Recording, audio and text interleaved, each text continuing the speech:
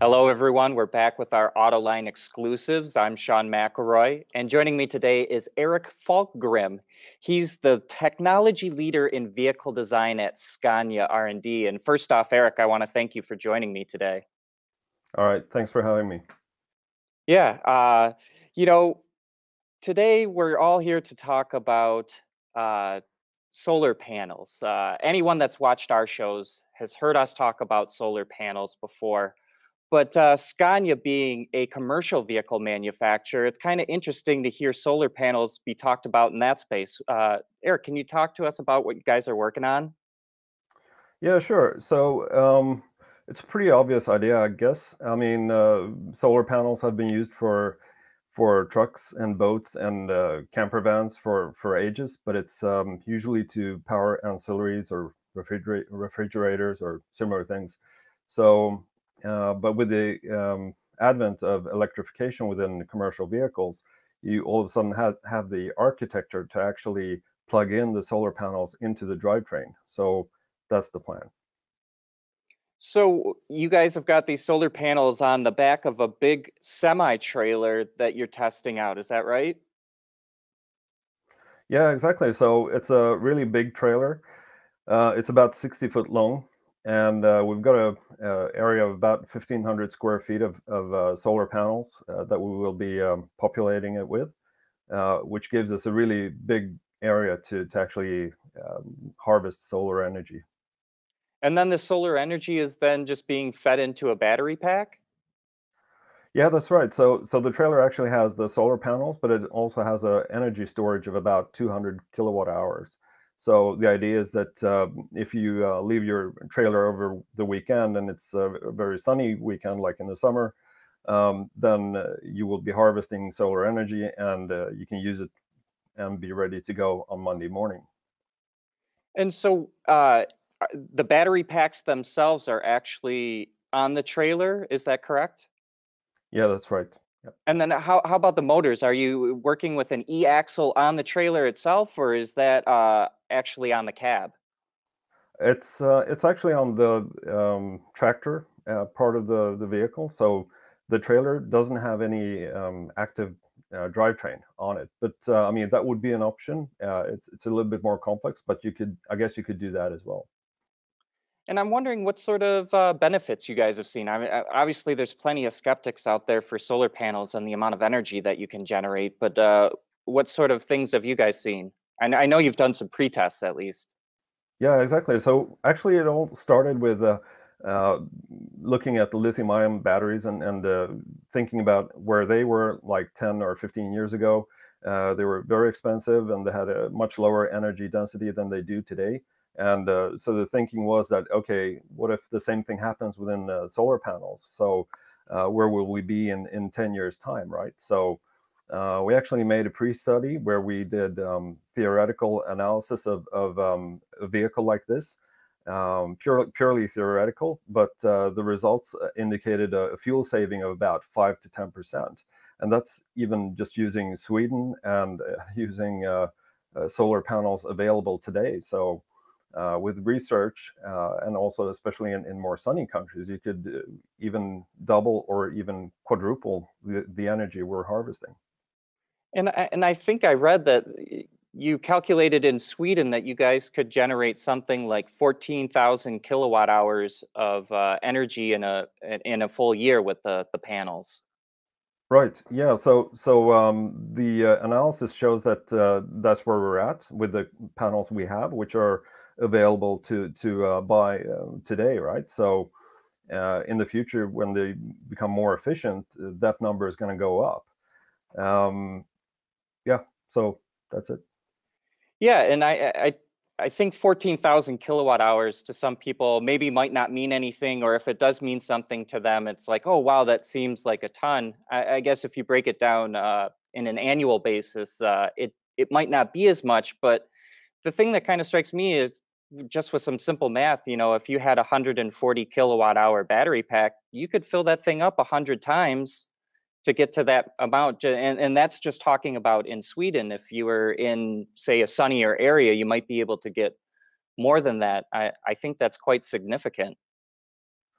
It is, yeah, exactly. And and um, you know, looking at especially the future of, of solar panels uh, and more sunny countries, I think you you will see a significant uh, boost to the range, like the electrical range. But uh, then there are also other benefits, like um, if you're standing still over the weekend, uh, you don't have a transport mission for your vehicle.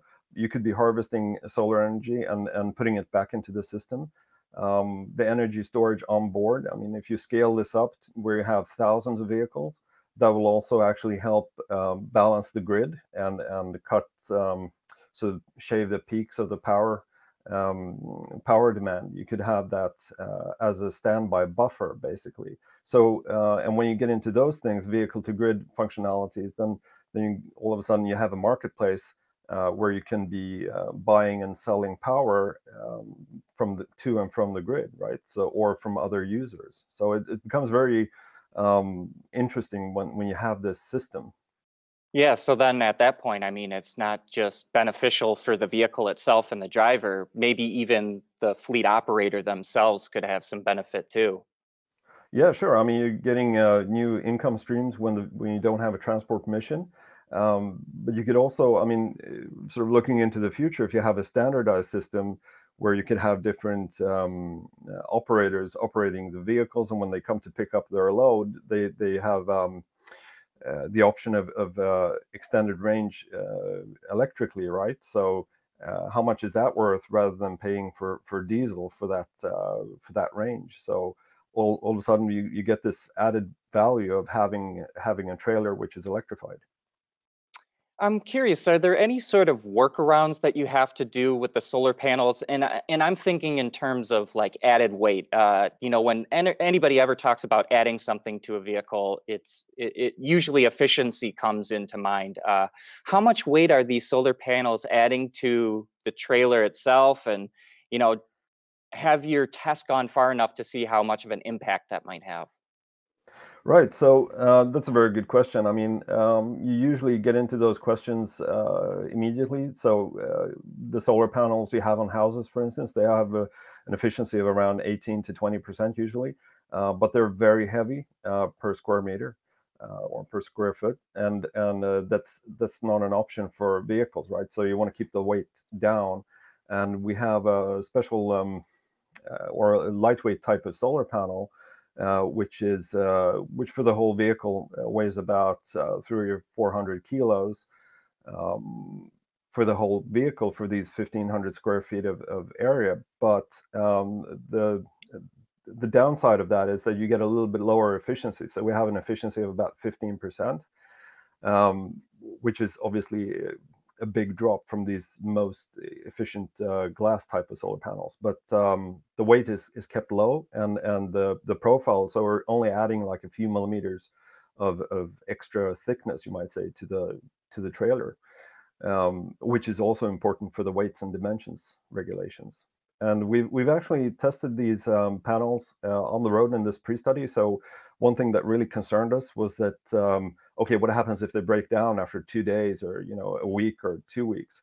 So we've actually mounted um, like test panels on a vehicle, and it's been running for a year and a half now, and uh, we see that it's still functioning, it's still operating uh, without doing anything special to protect them, just you know the way they come out of the factory. Uh, and they're also giving uh, very similar results as to what the analysis has, shown them to do. So all in all, it's a, it's a good start. And then on like the operation side, uh, anything like uh, maintenance in terms of keeping the vehicle clean, the trailer itself clean? Uh, does uh, road debris, dirt, that sort of thing impact performance of the the cells? Yeah, so so that's exactly what we wanted to try with these uh, test panels. So so the vehicle's been um, running with three test panels, uh, about a square meter each, and um, it's been running for a year and a half, and it's been you know it's been running in normal operations, uh, nothing uh, unusual, uh, just regular operations with uh, washing you know regularly, like on a weekly basis or so, and um, we haven't seen any degradation um, so far. Uh, after a year and a half, which is which has impacted the, the performance um, so to an extent where it sort of deviates a lot from the analysis. So so we're within 10% of the of the theoretical analysis, uh, and that that is also based on on housing. So so whereas in, in real life uh, operations you have uh, trees next to the roads, especially here in Sweden, you have a lot of forests and, and trees close to the road. So that will obviously affect it, but we're very close to the simulated results so far. And I think in in Europe there's uh, some new CO2 regulations coming on that, I, if I've got it right, I think it's something like a, need a 15% improvement of the fleet uh, by 2025, and then oh geez, a 30% reduction uh, 2030 and beyond. Uh, is that driving any of uh, what we're seeing here with this technology? Yeah, absolutely. I mean, um, to to cut that amount of CO2 um, from from a sort of a conventional powertrain with diesel is is extremely difficult. So so the way manufacturers are going about it is to to try and, and um, sell more and more fully electric battery electric vehicles, right? But uh, this is actually, um, I think, a, a quite a an obvious way to do it if if it works out. I mean, if um, if it, it if it turns out to be a good solution technically and commercially, then then this is a shortcut to actually achieve those goals. So, uh, but you know, there are millions of trailers in Europe. Uh, a lot of them are operating in in uh, southern Europe. We have a lot more uh, sunshine, obviously, than in Sweden. So, uh, there the benefits would be even greater. So, I think I think it's a viable option for sure. Is that why it makes more sense to say boost the powertrain rather than using the power for something else like a refrigeration unit on the trailer or say the AC inside of the cab? Right. I think uh, both of those examples you mentioned are, are really power hungry devices, which uh, benefit equally, I would say. So um, I think I think you can also save diesel and CO2 by by uh, powering those electrically. Uh, but I think it's extra interesting to actually get uh, to be to be able to plug into the powertrain and to to power the vehicle. I mean, um, you know, if you're in the south of Spain, you run out of fuel, then okay, if you have enough time to wait for a few days, you could actually, you know, you'll never run out of fuel basically. So I think I think there's this is a, boost, but I mean those other options are also interesting and should be should be done as well for sure.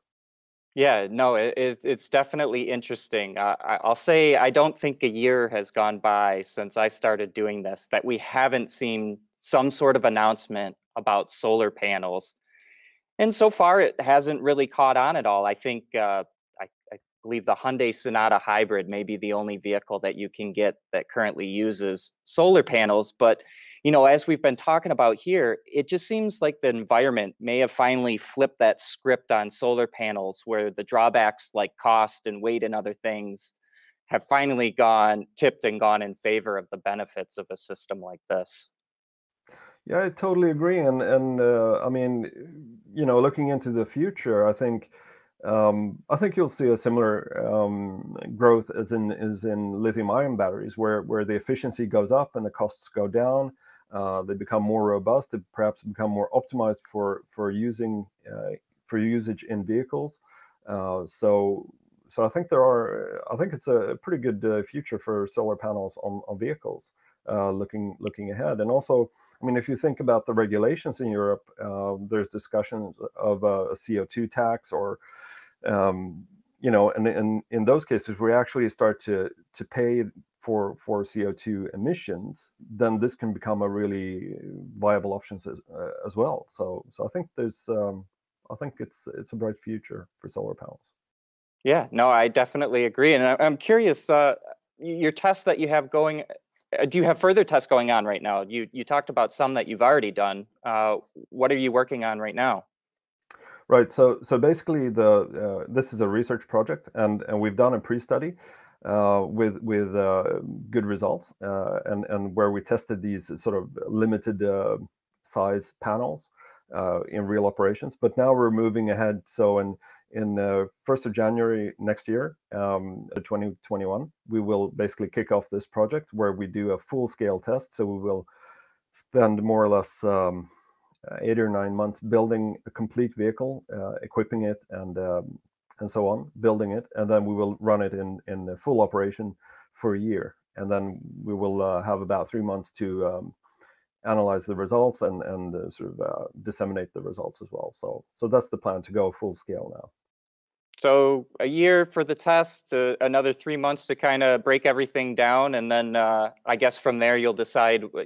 You'll you'll look at the data and decide what you're going to do from there. I take it.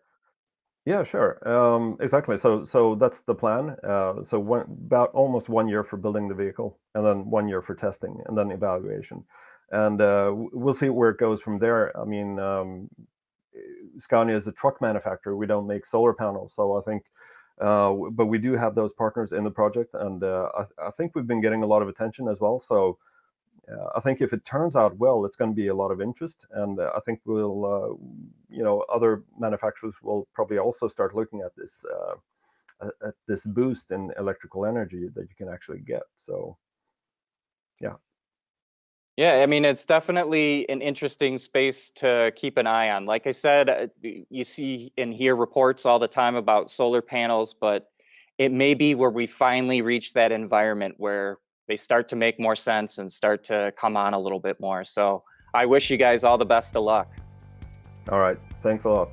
Yeah, Eric Falkgren from Scania. Thank you for joining me today. Thanks for having me.